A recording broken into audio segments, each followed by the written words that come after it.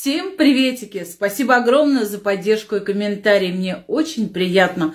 Кто не подписан на мой канал, подписывайся скорее. Ну а сейчас, как обычно, анекдотик.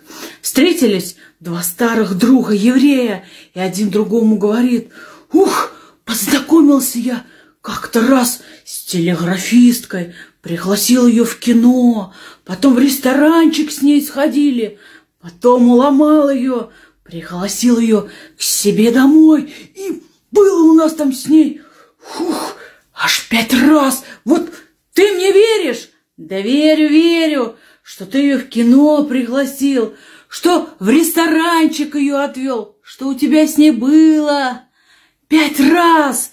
Но то, что она телеграфистка, не верю. Фу, почему это?